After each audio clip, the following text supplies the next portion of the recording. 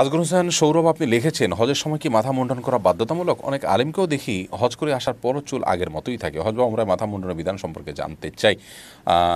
ভাই আজগর হোসেন, আল্লাহ রব্বুল আলমিন কোরআনে হাকিম এ সম্পর্কে বলেছেন যে, মোহাল্লিকিন আর উসাম ওয়াল মুকাসিন আল্লাহ তাখাফুন। যার অর্থ হলো হজ করার পর যারা মাথা মুন্ডন করবে মাথা মুন্ডন করাটাই হলো সাধারণ নিয়ম, সাধারণ নির্দেশ।